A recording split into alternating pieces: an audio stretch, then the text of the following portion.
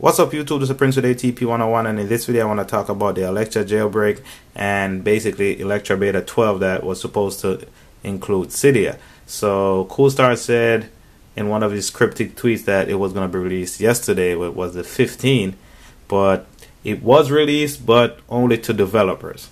So I already made a video talking about how it's going to be released on the 15th and I'm going to show you guys everything you need to know and tell you guys everything you need to know.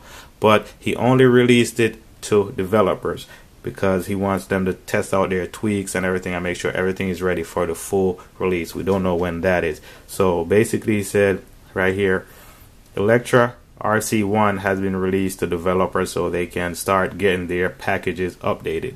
And that's about it. Yeah, so yeah, that's it. We thought it, it was going to be a full release yesterday, but he only released it to developers, which is a good thing. If all the developers get everything ready so soon as the public gets it, they could download all the tweaks on all the themes right then and there. Then that's good. Instead of just releasing it to everybody and then you go to download a tweak, it won't work. It might send you in a boot loop. So there's a lot of things going on behind the scenes, and it's definitely coming out, but not as fast as we would like. But it is progress. So, and a lot of people have been basically claiming to be developers and going to him emailing him about getting it, but it's not working. I say just let it be. Just let him send it to the developer. So if you are a developer and you want to get your tweaks ready for Electra and iOS 11.1.2, then definitely hit him up.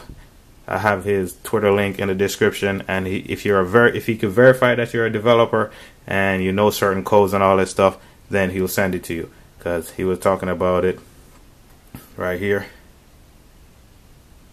So he just hit him up and he was basically showing off like Cydia on his iPad and all that kind of stuff. So yeah, that's about it guys. I just wanted to make a quick video.